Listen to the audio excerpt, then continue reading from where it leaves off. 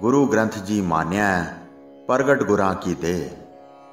ਜਿਨ ਭੈ ਅਦਬ ਨਾ ਬਾਨੀ ਧਾਰਾ ਜਾਨੋ ਸੋ ਸਿੱਖ ਨਹੀਂ ਹਮਾਰਾ।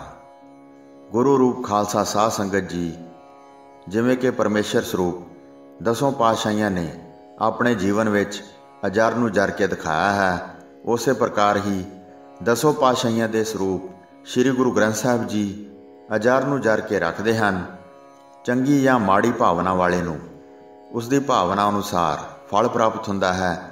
ਜਿਵੇਂ ਕਿ ਗੁਰੂ ਮਹਾਰਾਜ ਜੀ ਉਪਦੇਸ਼ ਕਰਦੇ ਹਨ ਕਿ ਸੇਵਾ ਵਿਚਾਰ ਸਹਿਤ ਕਰਨੀ ਚਾਹੀਦੀ ਹੈ, ਜੋ ਤੁਛ ਬੁੱਧੀ ਅਨੁਸਾਰ ਮਹਾਰਾਜ ਜੀ ਦੇ ਪਾਵਨ ਪਵਿੱਤਰ ਸਰੂਪਾਂ ਦੀ ਸਤਕਾਰ ਸਹਿਤ ਸੇਵਾ ਸੰਭਾਲ ਲਈ ਕੁਝ ਬੇਨਤੀਆਂ ਸੰਗਤਾਂ ਦੇ ਧਿਆਨ ਹਿਤ ਇਸ ਤਰ੍ਹਾਂ ਹਨ। ਪਾਵਨ ਸਰੂਪਾਂ ਦੇ ਕੁਝ ਅੰਗਾਂ ਜਾਂ ਜਿਲਤਾਂ ਦੇ ਖਰਾਬ ਹੋਣ ਤੇ ਅਗਿਆਨਤਾ ਸਹਿਤ ਜ਼ਿਆਦਾਤਰ ਸੰਪੂਰਨ ਸਰੂਪਾਂ ਨੂੰ ਅਗਨ ਭੇਟ ਕਰ ਦਿੱਤਾ ਜਾਂਦਾ ਹੈ, ਜੋ ਕਿ ਬਹੁਤ ਹੀ ਦੁਖਦਾਈ ਹੈ। ਚਾਹੀਦਾ ਇਹ ਹੈ ਕਿ ਉਹਨਾਂ ਪਾਵਨ ਸਰੂਪਾਂ ਦੀ ਜਿਲਤਾਂ ਅਤੇ ਅੰਗਾਂ ਦੀ ਸੇਵਾ ਕਰਵਾਉਣ ਦਾ ਉਪਰਾਲਾ ਕੀਤਾ ਜਾਵੇ। ਪੰਥ ਨੂੰ ਹੋਰ ਸੇਵਾਵਾਂ ਤੋਂ ਇਸ ਸੇਵਾ ਨੂੰ ਮੁੱਖ ਕਰਕੇ ਜਾਣਨਾ ਚਾਹੀਦਾ ਹੈ। ਗੁਰੂ ਮਹਾਰਾਜ ਜੀ ਦੇ ਨਵੇਂ ਪਾਵਨ ਸਰੂਪਾਂ ਦੀ ਭੇਟਾ ਬਹੁਤ ਹੀ ਘੱਟ ਹੈ।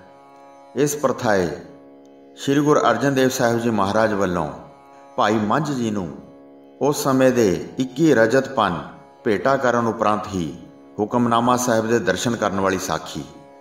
ਇਹ ਸਾਧ ਸੰਗ ਨੂੰ ਪੜ੍ਹਨੀ ਚਾਹੀਦੀ ਹੈ। ਪਾਵਨ ਸਰੂਪਾਂ ਦੀ ਘੱਟ ਭੇਟਾ ਵੀ ਸੇਵਾ ਸੰਭਾਲ ਵਿੱਚ ਕਮੀ ਦਾ ਬਹੁਤ ਵੱਡਾ ਕਾਰਨ ਹੈ। ਸ੍ਰੀ ਗੁਰੂ ਗ੍ਰੰਥ ਸਾਹਿਬ ਜੀ ਦੇ ਪਾਵਨ ਸਰੂਪ ਸਤਕਾਰ ਅਤੇ ਨਿਮਰਤਾ ਸਹਿਤ ਲਿਆਉਣ ਹਿਤ ਪੜੋ ਸ੍ਰੀ ਗੁਰੂ ਅਰਜਨ ਦੇਵ ਸਾਹਿਬ ਜੀ ਦੀ ਸਤਕਾਰ ਸਹਿਤ ਪੋਥੀਆਂ ਲਿਆਉਣ ਵਾਲੀ ਸਾਖੀ। ਜੰਗਲ ਪਾਣੀ ਜਾ ਕੇ ਇਸ਼ਨਾਨ ਕਰਕੇ ਅਤੇ ਸਰੀਰ ਦੀ ਅਪਵਿੱਤਰਤਾ ਸਮੇਂ ਸਣੇ ਕੇਸੀ ਇਸ਼ਨਾਨ ਕਰਕੇ, ਸੁੱਚੇ ਬਸਤਰ ਪਹਿਨ ਕੇ, ਹੱਥ ਪੈਰ ਚੰਗੀ ਤਰ੍ਹਾਂ ਧੋ ਕੇ ਅਤੇ ਸੁੱਚੇ ਬਸਤਰ ਨਾਲ ਖੁਸ਼ਕ ਕਰਕੇ ਹੀ ਮਹਾਰਾਜ ਜੀ ਦੀ ਤਾਬਿਆ ਬੈਠਣਾ ਚਾਹੀਦਾ ਹੈ। ਜ਼ਮੀਨ ਨੂੰ, ਮੋਬਾਈਲ ਨੂੰ, ਮੂੰਹ ਆਦਿਕ ਨੂੰ ਲੱਗੇ ਜਾਂ ਬੰਦੇ ਹੱਥ ਮਹਾਰਾਜ ਜੀ ਦੇ ਪਾਵਨ ਸਰੂਪ ਨੂੰ ਲਾਉਣੇ ਯੋਗ ਨਹੀਂ ਹਨ। ਪਾਵਨ ਸਰੂਪਾਂ ਤੋਂ ਪਾਠ ਕਰਦੇ ਸਮੇਂ ਅੰਗ ਹਮੇਸ਼ਾ ਸੱਜੇ ਹੱਥ ਨਾਲ ਉੱਪਰੋਂ ਚੱਕ ਕੇ ਦੋਨੋਂ ਹੱਥਾਂ ਨਾਲ ਸਤਕਾਰ ਸਹਿਤ ਬਦਲਨੇ ਚਾਹੀਦੇ ਹਨ। ਸ਼੍ਰੀ ਸੁਖਮਨੀ ਸਾਹਿਬ ਜੀ ਦੀ ਬਾਣੀ ਗੁਟਕਾ ਸਾਹਿਬ ਤੋਂ ਹੀ ਪੜ੍ਹਨੀ ਚਾਹੀਦੀ ਹੈ।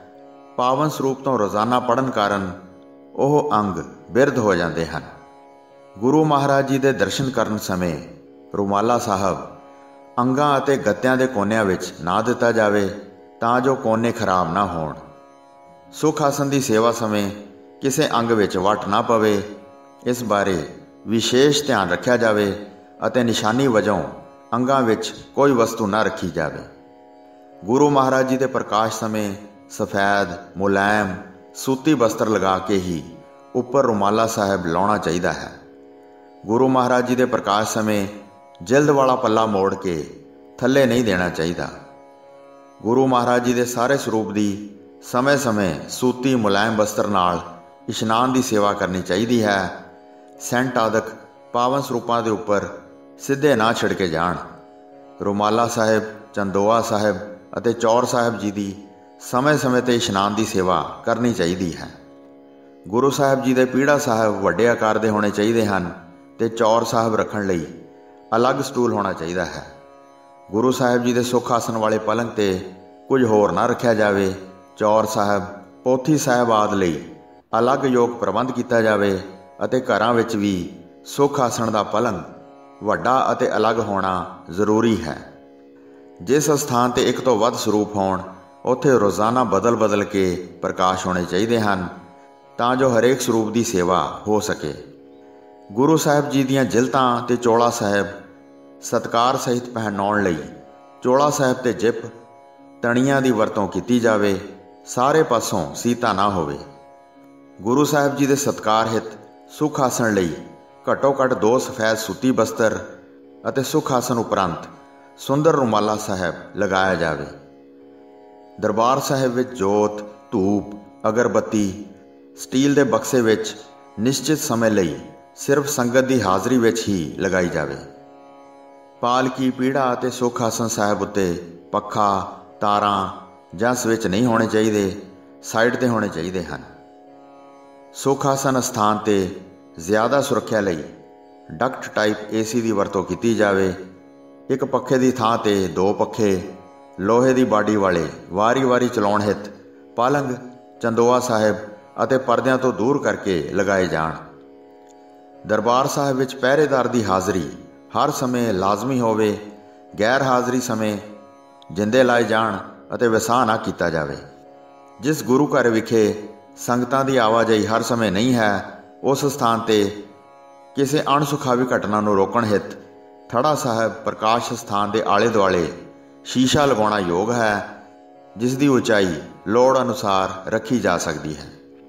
ਜਿਸ ਜਗ੍ਹਾ ਤੇ ਅਣਸੁਖਾਵੀ ਘਟਨਾ ਵਾਪਰੇ, ਉਸ ਪਿੰਡ ਜਾਂ ਸ਼ਹਿਰ ਦੇ ਗ੍ਰੰਥੀ ਸਿੰਘ, ਸਮੂਹ ਕਮੇਟੀ ਮੈਂਬਰਾਂ ਅਤੇ ਸੰਗਤਾਂ ਨੂੰ ਸ੍ਰੀ ਅਕਾਲ ਤਖਤ ਸਾਹਿਬ ਤੇ ਪੇਸ਼ ਹੋ ਕੇ ਮੁਆਫੀ ਮੰਗਣੀ ਚਾਹੀਦੀ ਹੈ। ਜੰਤਰੀਆਂ ਵਿੱਚ 12 ਮਹਾ ਭੋਗ ਅਤੇ ਵਿਆਹ ਦੇ ਕਾਰਡਾਂ ਦੀ ਗੁਰਬਾਣੀ ਲਿਖ ਦਿੱਤੀ ਜਾਂਦੀ ਹੈ, ਜੋ ਕਿ ਬਾਅਦ ਵਿੱਚ ਰੱਦੀ ਵਿੱਚ ਸੁੱਟ ਦਿੱਤੀ ਜਾਂਦੀ ਹੈ, ਜੋ ਕਿ ਭਾਰੀ ਬੇਅਦਬੀ ਹੈ, ਅਖਬਾਰਾਂ ਅਤੇ ਰਸਾਲਿਆਂ ਵਿੱਚ ਵੀ ਗੁਰਬਾਣੀ ਲਿਖਣ ਤੋਂ ਸੰਕੋਚ ਕੀਤਾ ਜਾਵੇ। ਮਹਾਰਾਜ ਜੀ ਦੇ ਪਾਵਨ ਸਰੂਪਾਂ ਦੀ ਛਪਾਈ ਵਿੱਚ ਕੋਈ ਗਲਤੀ ਦੀ ਸੁਧਾਈ ਗੁਰਮਤ ਮਰਿਆਦਾ ਅਨੁਸਾਰ ਦੇਗ ਸਜਾ ਕੇ ਪੰਜ ਸਿੰਘ ਮਹਾਰਾਜ ਜੀ ਨੂੰ ਅਰਦਾਸ ਕਰਨ, ਉਪਰੰਤ ਸੰਬੰਧਿਤ ਸੁਧਾਈ ਦੂਸਰੇ ਸਰੂਪਾਂ ਤੋਂ ਦਰਸ਼ਨ ਕਰਦੇ ਹੋਏ ਬਹੁਤ ਧਿਆਨ ਹਿਤ ਕਰਨ। ਗੁਰਤਾ ਗੱਦੀ ਤੇ ਸੁਭਾਇਮਾਨ ਦਮਦਮਾ ਸਾਹਿਬ ਵਾਲੇ ਮਹਾਰਾਜ ਜੀ ਦੇ ਪਾਵਨ ਸਰੂਪ ਜੋ ਸ੍ਰੀ ਗੁਰੂ ਗੋਬਿੰਦ ਸਿੰਘ ਜੀ ਨੇ ਆਪ ਲਿਖਵਾਏ ਹਨ, ਉਹਨਾਂ ਦੇ ਪਾਠਾਂ ਵਿੱਚ ਕਿਸੇ ਨੂੰ ਵੀ ਫ਼ਰਕ ਪਾਉਣ ਦਾ ਕੋਈ ਹੱਕ ਨਹੀਂ ਹੈ। ਸਾਧ ਸੰਗਤ ਜੀ, ਇਸ ਬਾਬਤ ਤੁਸੀਂ ਬਾਬਾ ਰਾਮ ਰਾਏ ਜੀ ਦੇ ਗੁਰਬਾਣੀ ਵਿੱਚ ਇੱਕ ਅੱਖਰ ਦੇ ਫ਼ਰਕ ਪਾਉਣ ਤੇ ਗੁਰੂ ਹਰਰਾਏ ਸਾਹਿਬ ਜੀ ਤੋਂ ਬੇਮੁਖ ਹੋਣ ਦੀ ਸਾਖੀ ਪੜ੍ਹ ਸਕਦੇ ਹੋ। ਪਾਵਨ ਸਰੂਪਾਂ ਦੇ ਅੰਗਾਂ ਦੀ ਸੰਭਾਲ ਹਿਤ, ਲੋੜ ਪੈਣ ਤੇ, ਸੈਲੋ ਟੇਪ ਦੀ ਥਾਂ ਤੇ, ਡਾਕਟਰ ਟੇਪ ਜੇਐਮਐਸ ਕੰਪਨੀ ਦੀ ਹੀ ਧਿਆਨ ਨਾਲ ਵਰਤੀ ਜਾਵੇ। ਦਰਬਾਰ ਸਾਹਿਬ ਵਿੱਚ ਚੂਹਿਆਂ ਦੀ ਰੋਕਥਾਮ ਲਈ ਯੋਗ ਪ੍ਰਬੰਧ ਕੀਤੇ ਜਾਣ ਅਤੇ ਗੁਰੂ ਘਰਾਂ ਵਿੱਚ ਅੱਗ ਬੁਝਾਉਣ ਵਾਲੇ ਯੰਤਰ ਲਾਜ਼ਮੀ ਰੱਖੇ ਜਾਣ, ਜਿਨ੍ਹਾਂ ਦਾ ਸਮੇਂ-ਸਮੇਂ ਮੁਆਇਨਾ ਕੀਤਾ ਜਾਵੇ। ਇੱਕ ਦੁਸ਼ਟ ਪਾਪੀ ਵਿਅਕਤੀ ਪੂਰੇ ਗੁਰੂ ਜੀ ਦੀ ਬੇਅਦਬੀ ਕਰਕੇ ਆਪਣੇ ਸਿਰ ਬੱਜਰ ਪਾਪ ਉਠਾਉਂਦੇ ਹਨ। ਇੱਕ ਮੂਰਖ ਵਿਅਕਤੀ ਇਸ ਸੰਬੰਧੀ ਵੀਡੀਓ ਪਾ ਪਾ ਕੇ ਆਪਣੀ ਮੂਰਖਤਾਈ ਦਾ ਸਬੂਤ ਦਿੰਦੇ ਹਨ, ਜਿਸ ਨੂੰ ਕਿ ਸ਼੍ਰੋਮਣੀ ਕਮੇਟੀ ਜਾਂ ਹੋਰ ਧਾਰਮਿਕ ਸੰਸਥਾਵਾਂ ਵੱਲੋਂ ਰੋਕਣ ਦਾ ਉਪਰਾਲਾ ਕਰਨਾ ਚਾਹੀਦਾ ਹੈ। ਜਿਹੜੇ ਘਰਾਂ ਜਾਂ ਸਥਾਨਾਂ ਤੇ ਗੁਰੂ ਮਹਾਰਾਜ ਜੀ ਦੀ ਸੇਵਾ ਕਰਨ ਤੋਂ ਅਸਮਰੱਥਾ ਹੈ, ਉਹ ਸ਼੍ਰੋਮਣੀ ਕਮੇਟੀ ਜਾਂ ਲੋਕਲ ਗੁਰਦੁਆਰਾ ਸਾਹਿਬ ਨੂੰ ਜਾ ਕੇ ਸੂਚਿਤ ਕਰਨ ਦੀ ਕਿਰਪਾਲਤਾ ਕਰਨ।